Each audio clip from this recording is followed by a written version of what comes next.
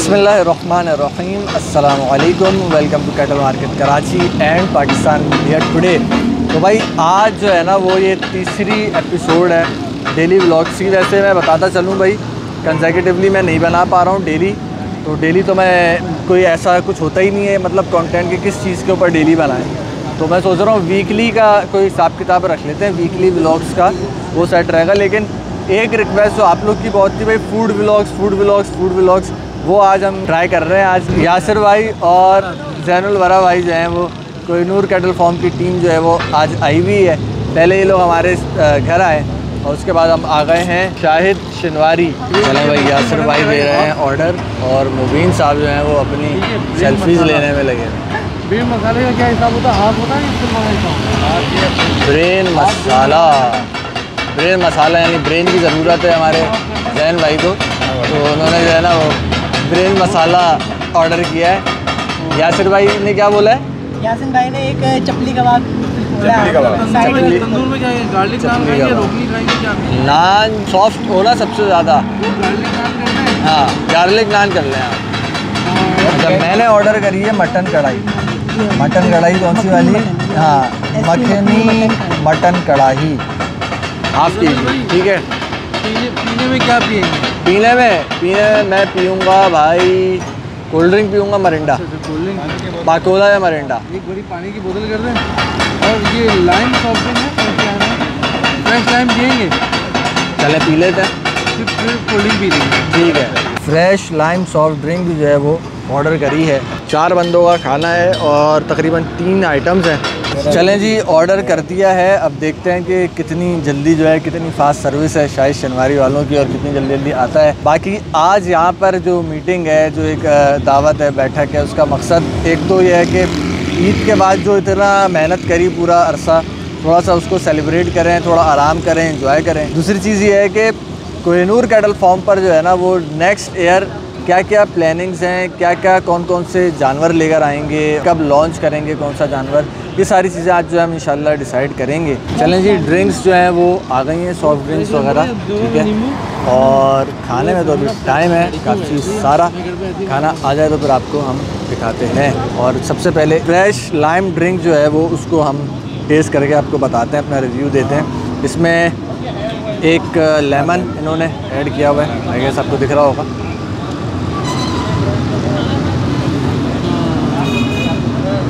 Honestly speaking इन्होंने ये किया है कि सेवन अप के अंदर जो है ना, बस वो एक अदद नींबू डाल दिया लेमन एक डाल दिया हाफ़ लेमन और वो निचोड़ दिया तो उन्होंने उसको फ्रेश लाइम ड्रिंक का नाम दे दिया है। और जो केन वाली सेवन अप होती है ना, ये वो लग रही है। दैट्स इट अच्छा जी ऑनेस्टली स्पीकिंग मुझे जो है ना, इस तरह का सेटअप ज़्यादा अच्छा लगता है। बाहर बैठक हो तखत वगैरह लगा के आराम से पीछे तकिया वकिया लगी हुई हो। इसमें जो एक देसी ढाबे टाइप वाले सेटअप में जो मज़ा आता है ना वो अंदर एसी में बैठ के चेयर्स पर बैठ के बहुत ज़्यादा सफिस्टिकेटेड होकर वो उसमें मज़ा नहीं आता। जो देसी स्टाइल में खाने पीने का मज़ा है ना वो ज़्यादा एक लगता है। आप लोग क्या क्या पसंदीदा स्टाइल है वो आप लोग ज़रूर बताइएगा मुझे कमेंट्स में। चलिए माशाल्लाह सारा का सारा खाना जो है वो हाजिर है। ये आ गई हमारी मटन कढ़ाई मखनी चपली कबाब और वो था ब्रेन मसाला। रायता है? और ये आ गई प्लेट। चमचे। चमचे। प्लेट और चमचे। अब करते हैं बिस्मिल्लाह वाला बरकतिल्ला। ठीक है? और टाइम लैप्स मैं देखता हूँ टाइम लैप्स पर लगा देता हूँ। अच्छा जी खाना हम लोगों ने खा लिया है। और अगर खाने के मुतालिक रिव्यू दें जो कढ़ाई थी मटन कढ़ाई मैंने जो ऑर्डर करी थी बिल्कुल पसंद नहीं आई मुझे। बिल्कुल पसंद ना आने से मुराद ये अच्छी थी लेकिन एक तो स्पाइसी नहीं थी। एक वजह यह है और दूसरी वजह यह है कि उसमें थोड़ी सी हीक थी मटन कढ़ाई में। हालाँकि उमूमन मैंने और भी शाइन शनवारी के सामने शाइन शनवारी है उनकी भी खाई है। इसके अलावा भी काफ़ी रेस्टोरेंट्स की खाई है कढ़ाई मटन कढ़ाई। लेकिन नॉर्मली रेस्टोरेंट्स पर जो मटन होता है ना उसमें हीक नहीं होती है। लेकिन यहाँ शाहिद शनवारी पर जो आज खाई है इसमें थोड़ी बहुत हीक थी। दूसरा हमने ऑर्डर किए थे चपली कबाब। चपली कबाब मुनासिब थे सही थे। और तीसरी चीज़ हमने ऑर्डर करी थी ब्रेन मसाला ब्रेन मसाला बहुत अच्छा था टेस्ट में भी अच्छा था अच्छे से बना हुआ था लेकिन क्वांटिटी में बहुत थोड़ा सा था। इसके अलावा जो इनके ये नान थे ना नान ये ये रे नान ये बहुत कड़क थे यार। ये भी कड़क था और एक हमने ये वाला ये आई डोंट नो ये क्या कहलाता है? ये वाला क्या कहलाता है? दोगनी नान। रोगनी नान ना? और वो वाला एक गार्लिक वाला था ये वाला गार्लिक था। जी ये दोनों ही नान जो है ना वो काफ़ी ज़्यादा कड़क थे। बेसिकली मेरी पहले ही जो है ना वो आज तबीयत सही नहीं है। मसूड़ों में बहुत ज़्यादा दर्द हुआ हुआ है ना। इनफैक्ट दवाई भी मैं लगा कर आया था इसके ऊपर ना। फिर भी जो है वो नरम चाहिए थे, लेकिन जैन भाई से भी रिव्यू लिया तो उन्होंने भी यही बताया कि कड़क थे ना।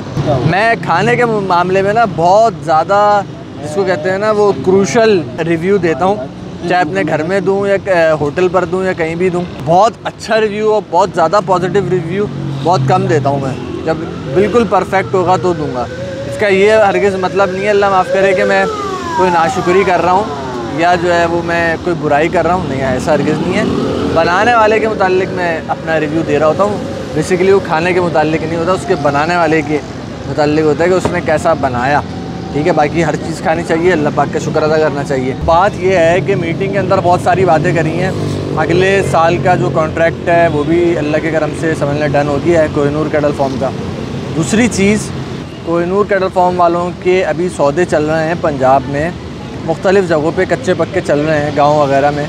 तो most probably most probably possible है कि हम लोग in with in a week और टू या फिर हो सकता है विद इन अ मंथ जो है ना, मेरा शायद टूर लगे इनके साथ पंजाब का। और वहाँ जाके फिर हम देखेंगे आपको शौक कराएँगे क्योंकि शौक को हमने ज़िंदा रखना है। तो जी बहुत जल्द जो है ना वो यासिर भाई ने बताया कि कोहिनूर कैडल फॉर्म पर वो एक ग्रैंड इवेंट ये रख रहे हैं अपने क्लाइंट्स वगैरह के लिए भी और पब्लिक के लिए भी बारबेक्यू वगैरह। तो इन फिर अब वहीं पर ही मुलाकात करेंगे। कोई इतना ख़ास यानी कि मज़ेदार नहीं था। फ़ूड ब्लॉग छोटा सा ब्लॉग था। वो होपफुली शायद आपको पसंद आ गया होगा। पसंद आ गया हो लाइक कर दिएगा भाई। नहीं पसंद आया हो तो डिसलाइक कर दिएगा कमेंट करके कुछ इम्प्रूवमेंट के लिए बताइएगा। आगे देखते हैं इंशाल्लाह इसको फिर कंटिन्यू करते हैं। वीकली पर जा रहा हूँ मैं। अब डेली जो है ना वो बनाना थोड़ा सा मुझे मुश्किल लग रहा है व्लॉग्स वीकली व्लॉग्स ऐसे मैं जैसे एक आध वीक में कहीं चक्कर लगता है तो बनाता रहूँगा। तो थैंक यू सो मच अस्सलाम वालेकुम